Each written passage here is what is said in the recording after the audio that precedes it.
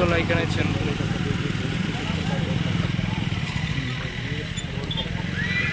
ये देखो, पुष्कर की रोड पर ये घोड़ियाँ भी जा रही हैं और इसको नचाने की कोशिश कर रहे हैं। ये देखिए आप, नज़दीक आपको मोबाइल करके दिखा देता हूँ।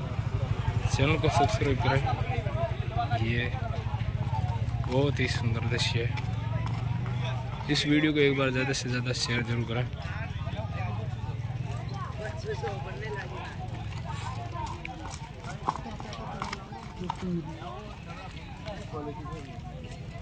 मिलते हैं दोस्तों जल्दी किसी नई वीडियो के साथ में।